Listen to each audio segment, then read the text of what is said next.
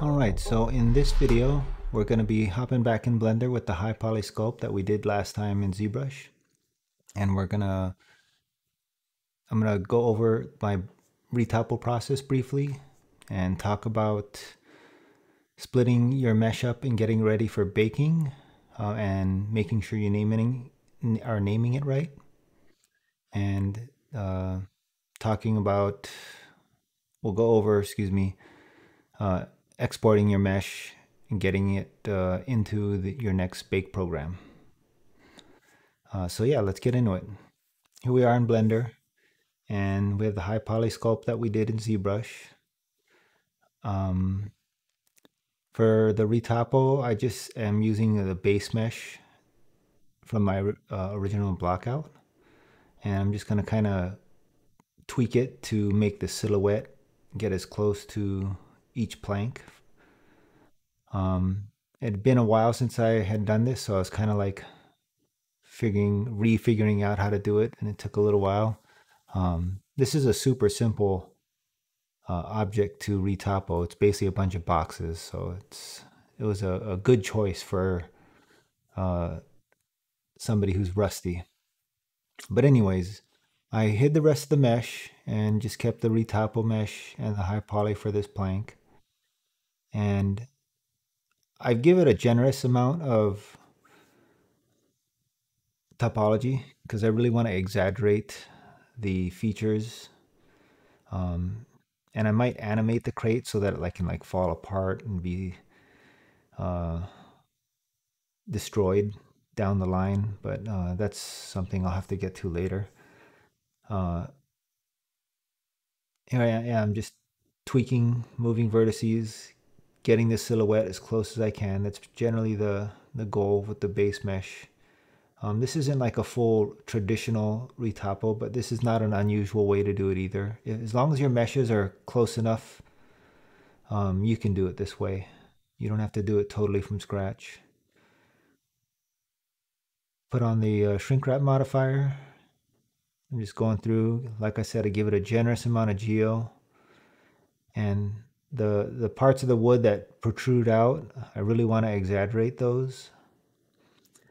Um, so I do go through late uh, right here. You can see I'm going through and I I extrude those faces out a little bit.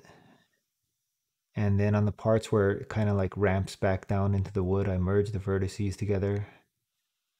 And yeah, here's the knife tool, just getting those extra edges I need so I can extrude those faces and and yeah this is definitely overkill. This is you wouldn't really do this it feels like a i mean you could actually get away with it for games for most game engines nowadays unless it's like a hardcore mobile game that is super optimized. Um most most devices now can handle a fair amount of geo. But anyways yeah i'm just welding the extra verts together where i want it to kind of mesh seamlessly back into the mesh. And uh, at this point, I've got the mesh UV'd. Uh, all the planks are retopoed. And I just use the mirror modifier to duplicate the front, back, and top and bottom. And here I am, I'm just uh, kind of going through and making sure that the high poly and low poly parts are split up correctly and are named appropriately so that they can be recognized by the bake program. In this case, I'm going to use Marmoset Toolbag. Um, but basically, you just want to make sure that they're corresponding with their names appropriately and that their meshes aren't intersecting with other meshes. Like you can see there, the meshes are far away enough from each other that when I bake it, they're won't cause any artifacting in the bakes, um, which is always frustrating. So it's just, it's a good idea uh, at this point before you go ahead and export everything. It's generally a good idea to just uh, go through your groups, uh, double check, triple check.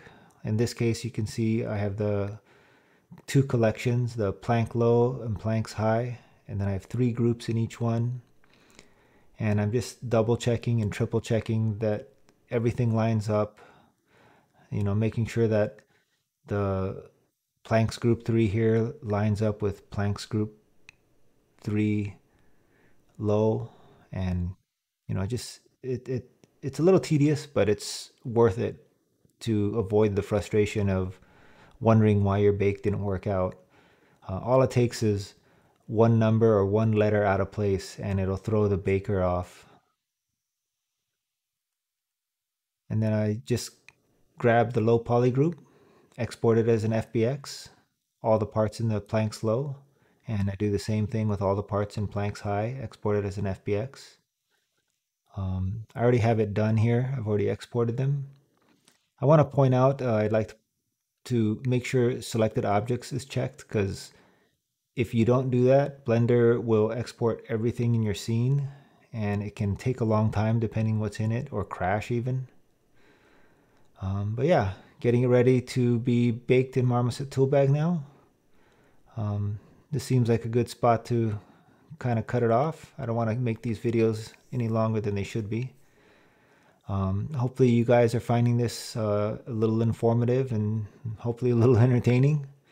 I know a lot of people look for full-blown tutorials um, and I'm hoping to do something like that down the road but right now I don't want to you know I don't want to give anybody the wrong information I just want to get a little more comfortable with what I'm doing personally first. But uh, yeah, down the road, I'll, I'll probably be doing a more step-by-step -step style tutorial.